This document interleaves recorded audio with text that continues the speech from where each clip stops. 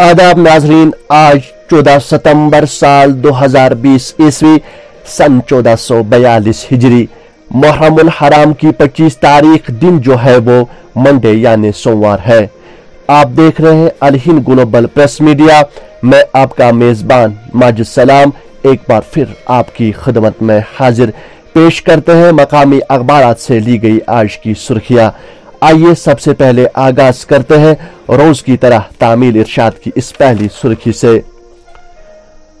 जम्मू और कश्मीर में कोरोना के गिराफ में इजाफा का रुझान बरकरार, इतवार को एक हज़ार छह सौ छियासी केस दर्ज, पंद्रह लुकम अजल। लापता सुकानर के अफराद खाना सरापा एहतजाज, केस की सीबीआई के ज़रिए तहकीकात करने का मुतालबा। जम्मू में सीआरपीएफ एहलकार का इंतहाई इकदाम, बीवी को कत्ल और साली को जख्मी करने के बाद ली अपनी जान।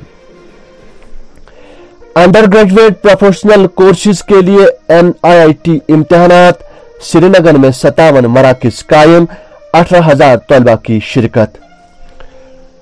कंट्रोल लाइन पर ताज़ा गोलाबारी, कम सिंध बची आज जान पाकिस्तान का एहतजाज। पारी गाँव पुलवामा में फौज की पेट्रोलिंग पार्टी पर फायरिंग इलाका मुहासरे में कोई झड़प नहीं हुई, सिर्फ़ गोलियों की आवाज़ सुनाई दी पुलिस। आज से पार्लियामेंट का मानसून सेशन शुरू हो रहा है। अपोजिशन पार्टियों ने हुकूमत को घेरने के खातिर सभी तैयारियाँ मुकम्मल की हुई है। हुकूमत को लद्दाख मुल्क की मायशी सूरत हाल और बेरोजगारी के हवाले से अपनी पोजीशन वाजा करनी होगी। अपोजिशन पार्टियाँ।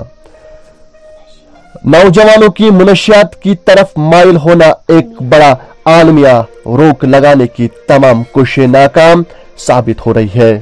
इस खबर को भी आफ्ताब ने अपने सफ़ाई दो में जगह दी है। ट्राल में सड़क हादसा, शहरी आजजान चार जख्मी उधमपुर में गाड़ी खाई में जागरी खातून और नवजायद बच्चे समेत तीन आजजान आखिरी सुर्खी पढ़ते हैं रोजनामा आफ्ताब से। पारीगाम पुलवामा में गोलाबारी का तबादला, ऑपरेशन जारी, बांडीपुरा में फौजी बंदूक से अचानक गोली निकलने के सबब जख्मी अस्पताल मुंतकिल।